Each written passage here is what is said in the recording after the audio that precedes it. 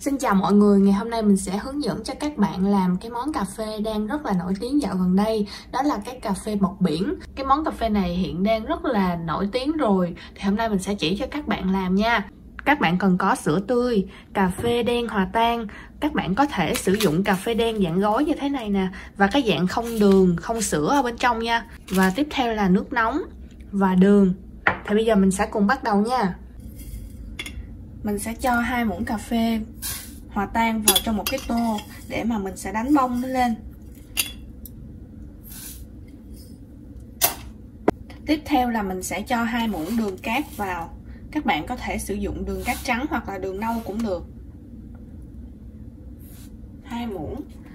Mình cũng sẽ cho hai muỗng nước nóng vào. Và cái tỷ lệ này nó phải bằng nhau nha các bạn. Hôm nay mình sẽ sử dụng cái máy đánh cầm tay này để đánh cà phê. Vì để làm cái món cà phê này cho nên là mình mua cái máy này đó. Các bạn có thể để vào ly đánh mông lên cũng rất là dễ dàng. Nếu các bạn không có cái máy đánh trứng hoặc là không có phương tiện để đánh thì các bạn đánh bằng tay ra cũng được, nhưng mà mình nghĩ là nó hơi mệt hơn chút xíu thôi.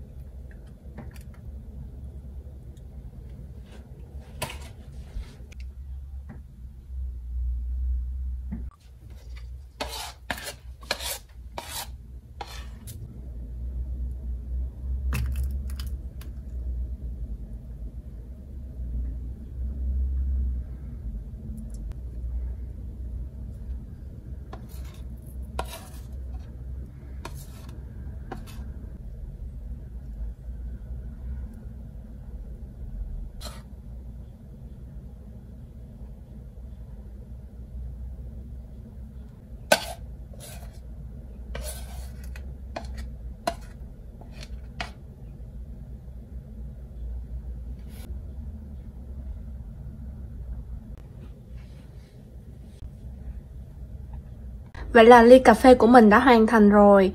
Thì rất là dễ thôi Các bạn cũng có thể thử. Và làm cho mình một thức uống ngon miệng nha. Đá nó tan ra Cho nên là nó nhiễu cà phê xuống dưới đây nè các bạn. Nhưng mà nhìn cơ bản rất là ngon luôn.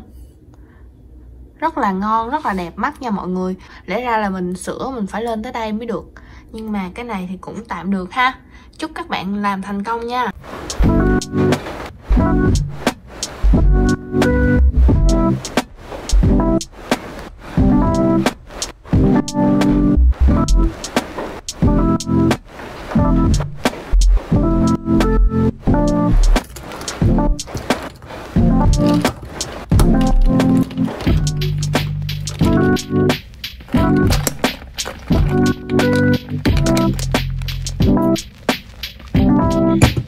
Thank you.